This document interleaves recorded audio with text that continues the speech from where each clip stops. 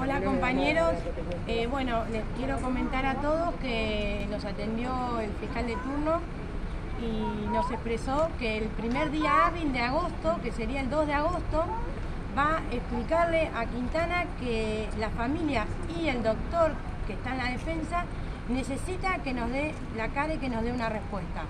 Eh, quedamos en que el 2 de agosto nos van a responder. Si no sucede como tiene que ser, vamos a venir nuevamente todos juntos y unidos a manifestarnos hasta que nos escuchen. Eh, así que ahora vamos a esperar hasta el 2 de agosto porque no tenemos opción. Eh, el 3 de agosto, si no tenemos respuesta, vamos a venir nuevamente todos juntos, como estamos hasta ahora, y vamos a hacer que nos escuchen y que el fiscal Quintana dé la cara. Eh, así que gracias a todos por el apoyo, gracias a todos por acompañarnos. La verdad que estamos muy agradecidos y esperamos que finalmente haya una respuesta.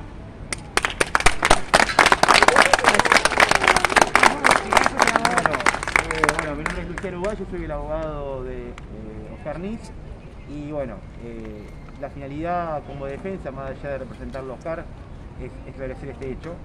Así que estamos haciendo todo lo que está a nuestro alcance, hemos presentado muchísimas pruebas, muchos testigos, he participado de la declaración de los testigos y claramente demuestra que Oscar no, tiene, no tuvo participación en este hecho y está detenido injustamente. También hay situaciones en las cuales en el procedimiento hubo eh, hechos que no están claros y que probablemente se actuó mal y pudo haber perjudicado a Oscar. Lo que queremos nada más, no queremos indicar responsabilidades a nadie, sino que la justicia investigue y que nos escuchen eh, en los pedidos de pruebas que estamos solicitando. Y darle destacar que a mí como defensa he tenido muy pocas respuestas telefónicas, eh, por escritos, he solicitado testigos y no me han respondido, no tengo respuestas sobre cámaras que he solicitado, así que después de varios escritos en los cuales no he tenido respuesta, he solicitado una revisión al fiscal general que fue presentada en el día de ayer, así que probablemente más allá de lo que suceda el 2 de agosto, probablemente la semana que viene tendremos respuestas.